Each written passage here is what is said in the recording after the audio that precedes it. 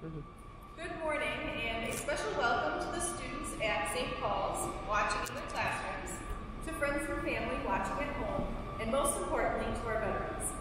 This special Veterans Day program looks a little different this year due to COVID, but the fifth grade class and their parents put a lot of work to still make this program something special for us to present to all of the veterans out there. What is Veterans Day? Veterans Day is a federal holiday that is observed every year, in November 11th. It honors all people living and dead who serve or are currently serving in the armed forces. Veterans Day used to be called Armistice Day, and it, and it originally honored soldiers who died in World War I. In 1918, November 11th, a truce or a truce or armistice day was assigned to unofficially end the war end of World War I. The government declared it a federal holiday in 1938 and 1954. The name was legally changed to Veterans Day to honor veterans of all wars, not just those of World War I. Scripture reading is from 2 Samuel 22, verse 2 through 4. The Lord is my rock, my forgiveness, and my deliverer. My God is my rock in whom I take refuge. My, my shield and the horn of my salvation.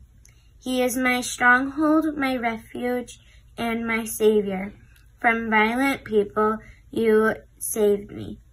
I call to the Lord who is worthy of praise and and have been saved from my enemy. Next, we are going to show some videos of veterans explaining the job to the military branches.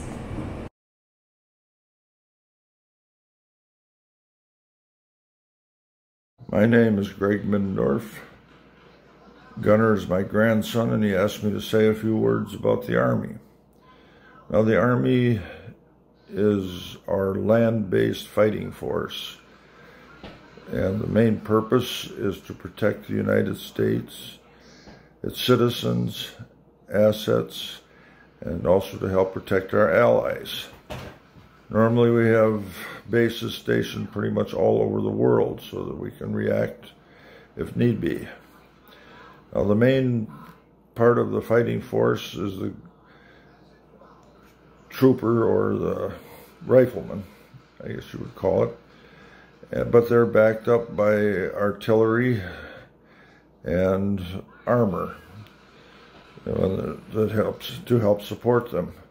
Also, they have a lot of backup units, such as supply, the engineers, and also hospitals and the cooks.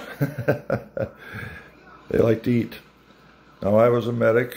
I was stationed in Germany in 71 through 73, but a lot of my friends I went in with were sent over to Vietnam, which we were fighting a war there at the time.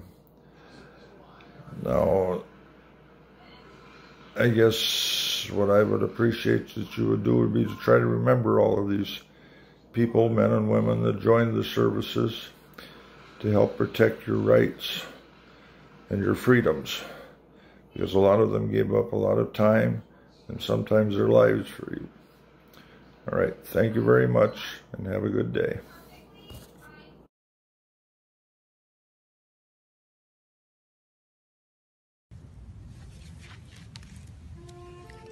Why did I join the Marine Corps?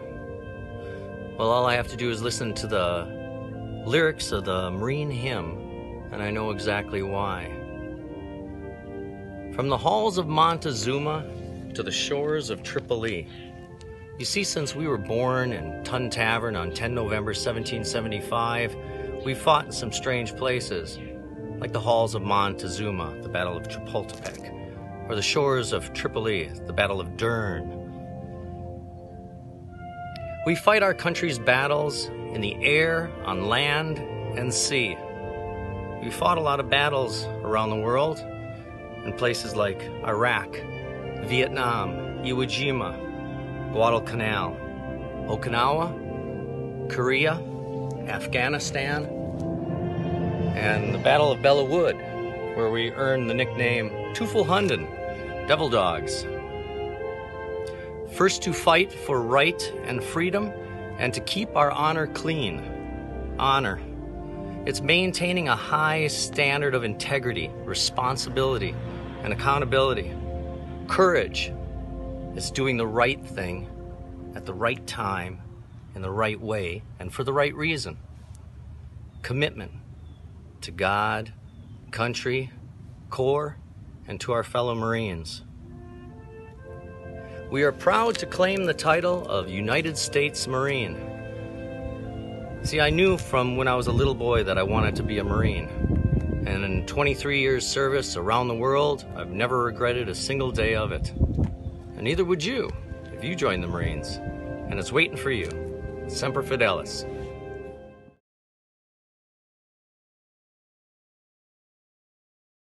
My name is Steve Decker. A lot of kids know me as Mr. Decker or Master Decker with Five Rings Martial Arts. I am a Navy service uh, veteran. I was in the Navy for seven years, and the Navy is the branch of service that projects military might overseas uh, over the water. So we have carriers and destroyers and battleships and all kinds of really cool boats and planes that fly off of those boats. So military service is a very honored tradition in my family. I have three generations. Both grandpas, my dad, and myself are all service members.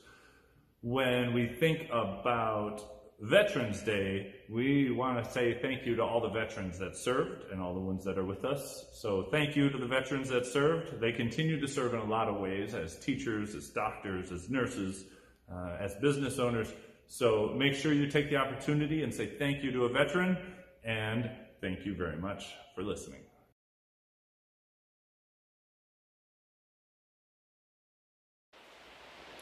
Thank you to Will Johnson for asking me to share what the role of the Air Force is and the work that we do.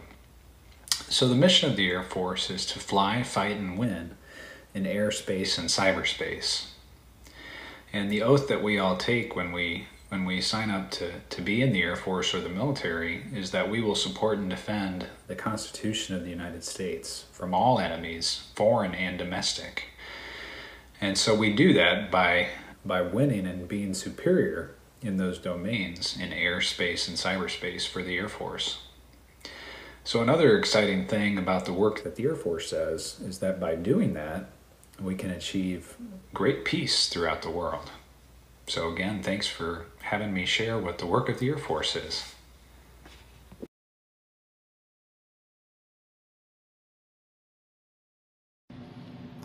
Hello, St. Paul Lutheran School. My name is Chrissy Kirka. I'm a retired U.S. Coast Guard Chief Petty Officer, and I'm here today to talk to you about the U.S. Coast Guard. The U.S. Coast Guard got its start back in 1790. We're comprised of three predecessor agencies the U.S. Revenue Marine, the U.S. Lighthouse Service, and the U.S. Life Saving Service. Our core values are honor, respect, and devotion to duty. U.S. Coast Guard is one of our country's six armed services, but we don't serve under the Department of Defense. We actually serve under the Department of Homeland Security. U.S. Coast Guard has many major missions, one of them being military readiness. U.S. Coast Guard has participated in every armed conflict the United States has been in. Our most famous mission probably is search and rescue. The Coast Guard on average saves 10 lives every day and conducts over 15,000 search and rescue missions a year. We also do environmental protection, oil spills, hazardous material spills. We respond in the United States and worldwide. We also conduct homeland security, which is securing our ports and waterways to help keep the United States safe. We also maintain aids to navigation. The lighthouses you see, the buoys in the water, those are the road maps or the road signs that ships use to navigate. We maintain those on a daily basis. And we also have big red cutters called our icebreakers that keep our Great Lakes open for maritime shipping and to also send scientists and resupply miss missions to Antarctica. Our motto is always ready, semper paratus. Thank you for letting me share a little bit about the Coast Guard with you today.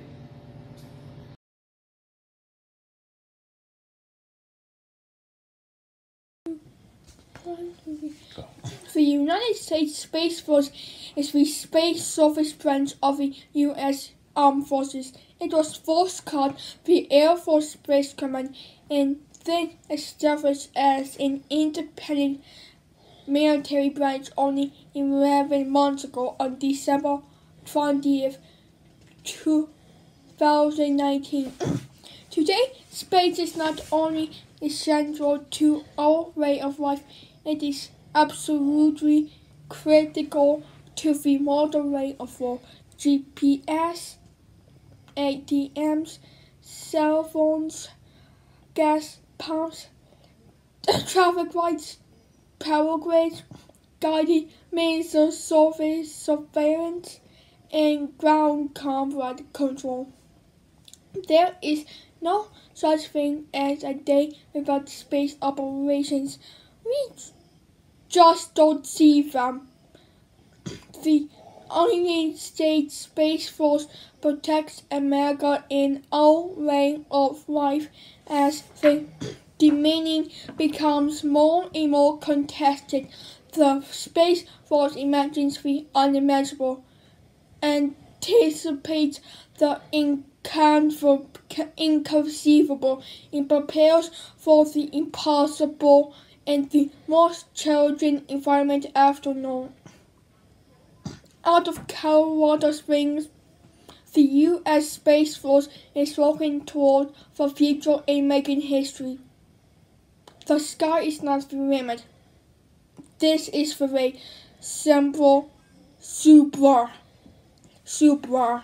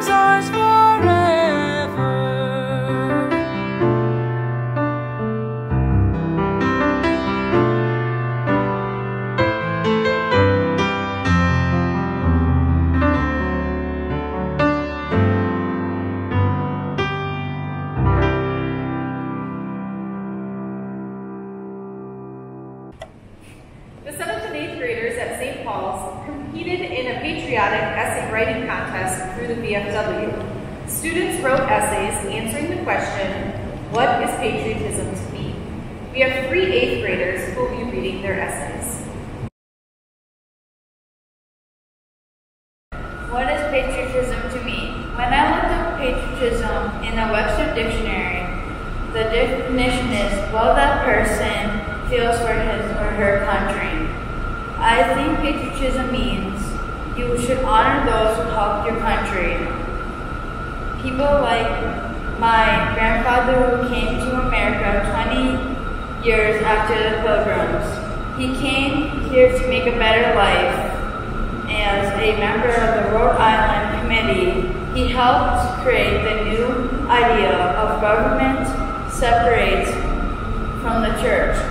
During the Revolutionary War, I had a grandfather who believed so much in freedom that he went against his parents and two brothers' ideas and fought for America. Later in Wisconsin, my grandfather and his father sent, signed up to be in the Civil War on the Union side because he believed that all people should be free. My grandpa, on my dad's side, was in the Navy during the World War II. He was so proud of what he did. My mom's dad was in the Army during the Cold War and the Vietnam War. He retired years later from the Army. Even my aunt was in the Army. I have a cousin who was in the Marines. There are the reasons I believe in patriotism and want to do my part in small ways, like sending cards to soldiers. We do this in 4-H Club. I pay my respects by laying flowers at the cemetery. My family attends Memorial Day remembrances every year at our local memorial. When I'm older, I will want to vote so I can pick someone who will do a good job running our country and help choose laws that I think are good for our community. To me, patriotism means we should remember our ancestors for what they did for the love of our country and continue to do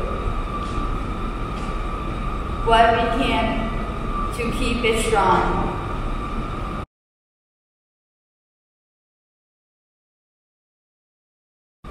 What patriotism means to me.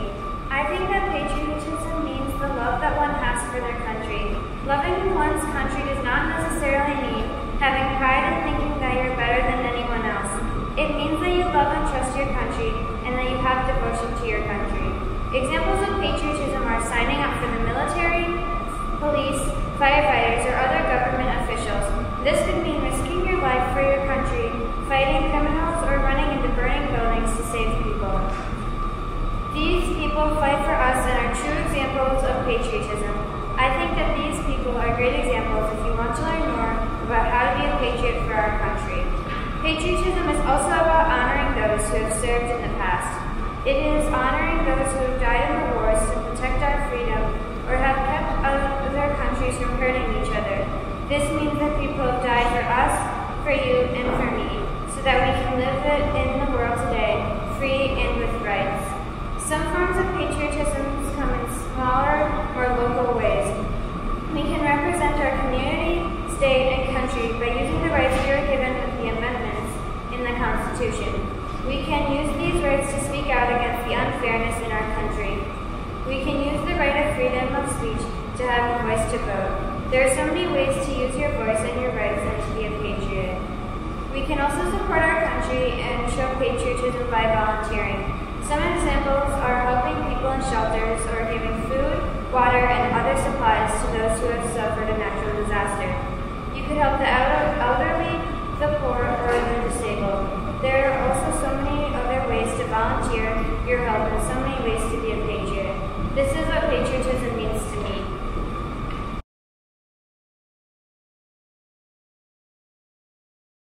What is patriotism to me? To me, patriotism is showing love for your country. Patriotism is not trying to erase all the bad things that happened in our evolve into a better country than before. Patriotism isn't rioting and looting. Patriotism is peaceful protest so our country can be as equal as it was intended to be. Patriotism is not supporting the bad things we have done in the past as a country. Patriotism is supporting all the good things that we have done and are planning to do. Patriotism is fighting for this country every chance you get. For example, joining, joining the military or becoming a politician. Patriotism is never disrespecting those who make our country better. Patriotism is something our country is struggling, with currently. We as a country need to step up and solve these issues without damaging. Patriotism is something every country needs, not something every country has. Patriotism is important for the country to continue evolving to be a better, better and better. Patriotism also helps our country stick together. Our country has stuck together through so much, and the main thing holding it together is the citizens of this country. If we did not have people that have shown such strong patriotism in the past, our country would not be where it is today. Our country has relied on patriotism and continues to rely on patriotism today. Showing patriotism today has never been more important. With everything we are going through, we should continue to have faith in our country. Knowing that we can make it through this, our politicians work hard every day to make our country better. Showing patriotism is very important for everyone in our country to do. I will continue to show patriotism, and I hope you do too.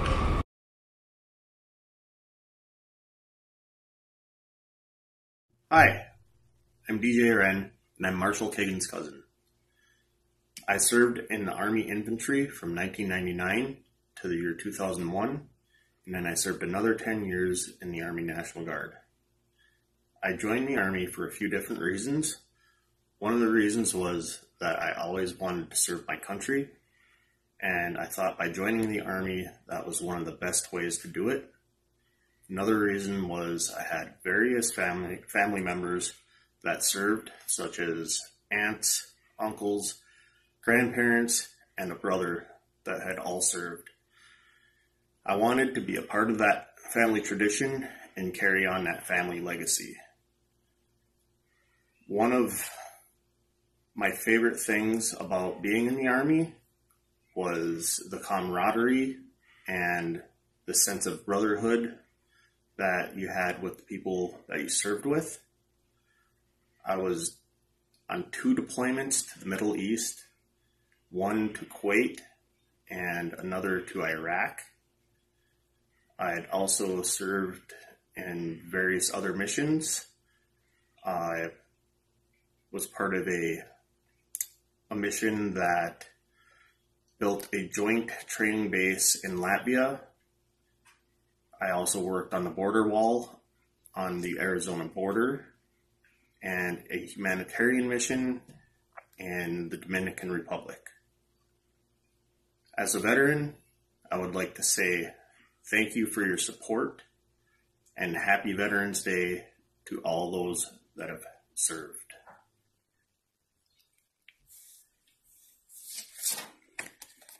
And here's a picture of me from one of my deployments. Thank you. Hi everyone, my name is Jen and I was born and raised in Plainfield, Wisconsin and I went to Tri County and as a junior in high school I was kind of undecided as what my career path would be and I was I was aware that my parents didn't have a lot of extra money to pay for college so when an Air Force recruiter called me it was kind of spontaneous and I said, sure, sign me up. So I did six years as a signals intelligence analyst and it's one of those if I told you I'd have to kill you sort of gigs. And I did a lot with space and satellites um, and a lot of buildings with no windows, but it was cool. And at the time when I joined, I did it, you know, because I didn't really have anything else um, exciting and I wanted to get out and experience the world. So I have done just that. Um, after my six years as a staff sergeant, I was married to also an Air Force um, guy, and we just retired after 21 years of service. Um, he was a cop, so we've spent a lot of time moving around, and I've lived in Texas and England and California and Washington, D.C.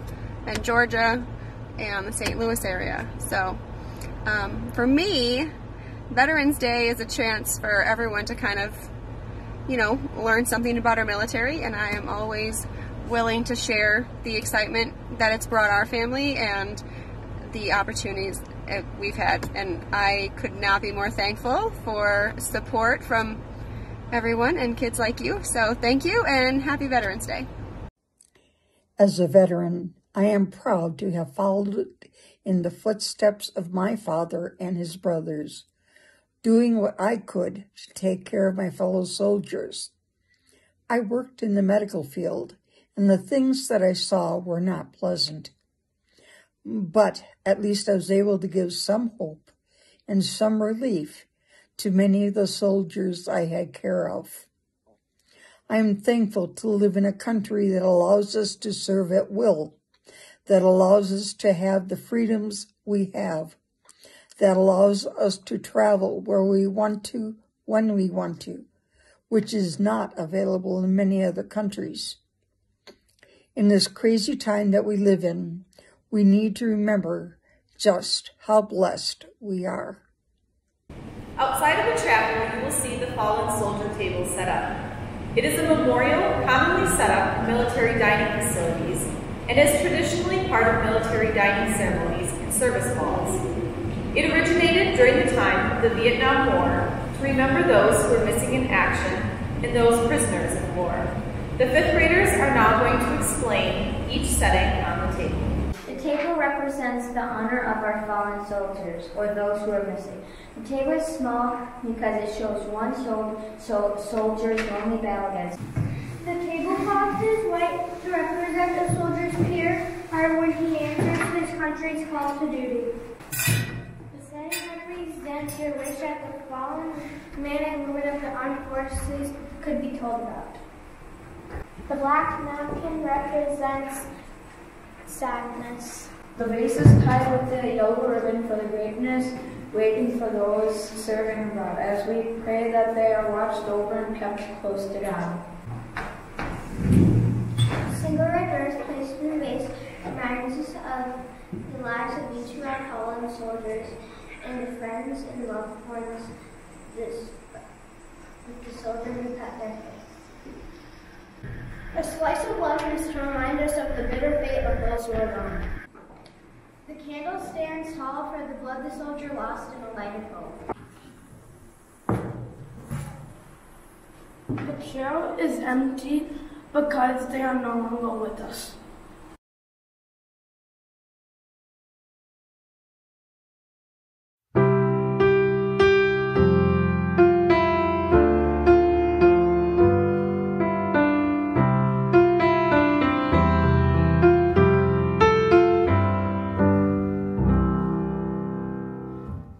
God bless our native land, for may she ever stand through storm and night.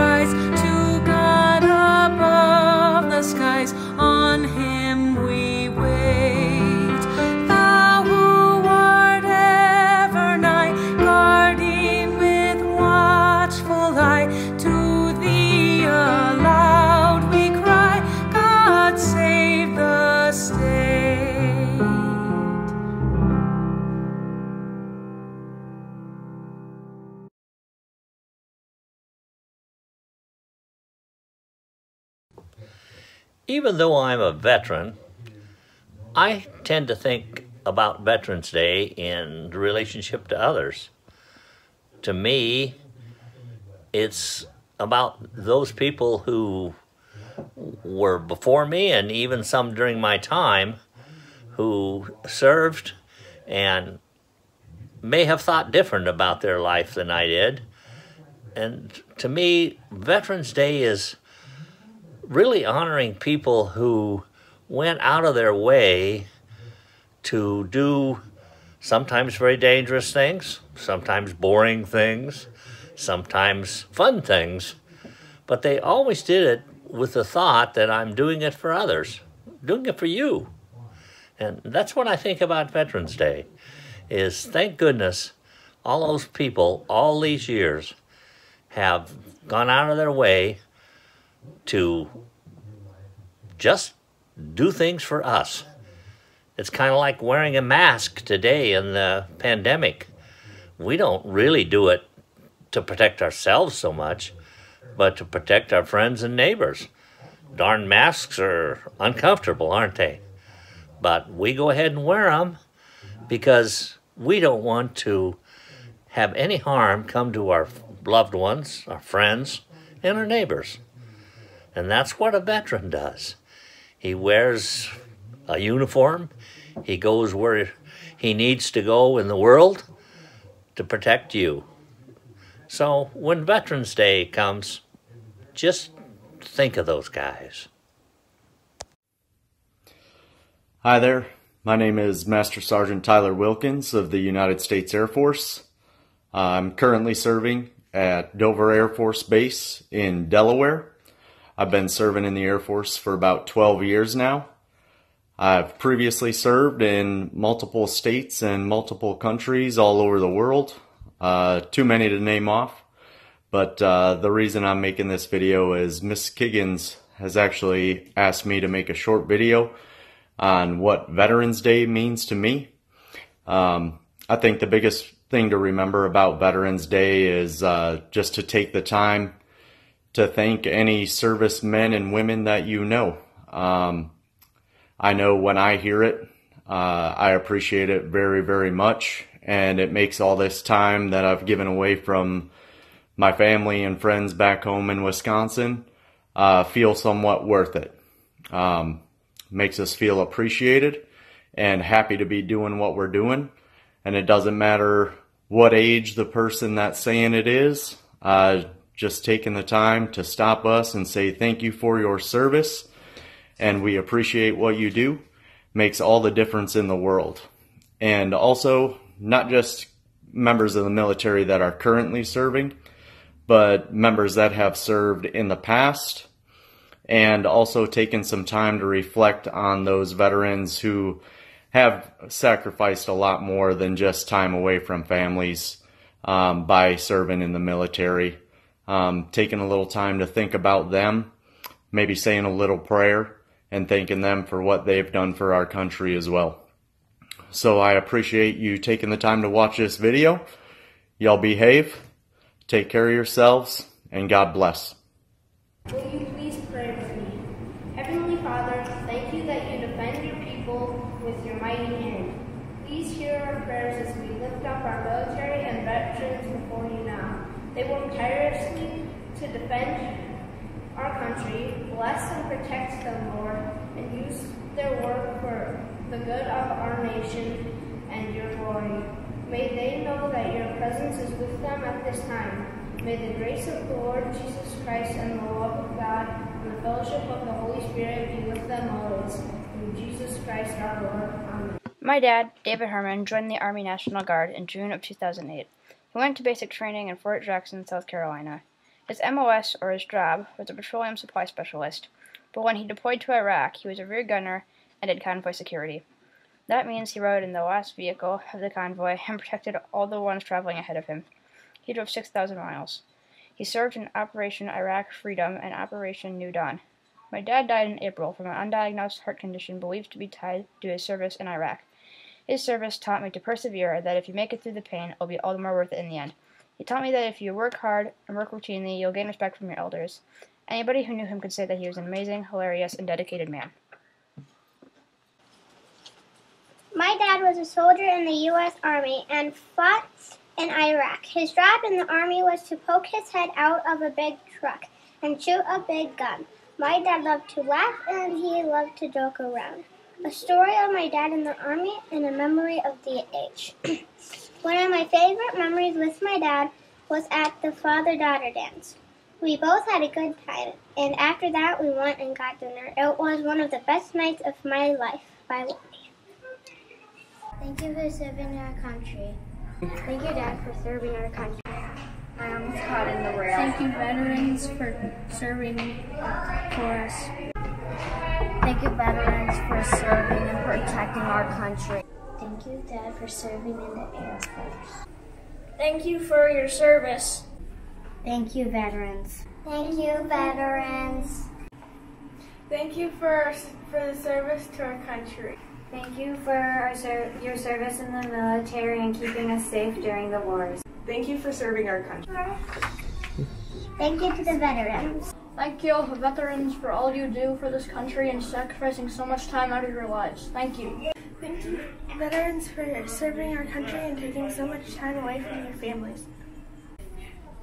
Thank you to the veterans. Thank you for serving our country. Thank you for your service. Thank you for your service and keeping our country safe. Thank you for helping our country. A thank you to all of you who took time out of your day to watch our Veterans Day program. And most importantly, thank you to all of our veterans who serve or are currently serving in the armed forces. We cannot thank you enough. Also, a special thank you to our former student, This, video together for us. Happy Veterans